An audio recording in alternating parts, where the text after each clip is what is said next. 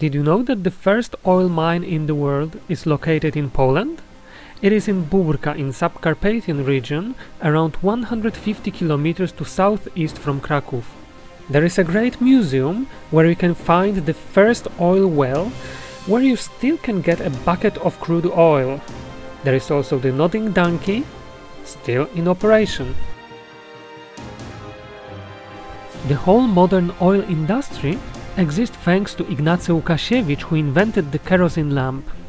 It was used for the first time during an operation in Lwów hospital. He also invented the process of refining crude oil to produce kerosene. Today, Poland is importing most of the needed oil, and only a bit is mined here.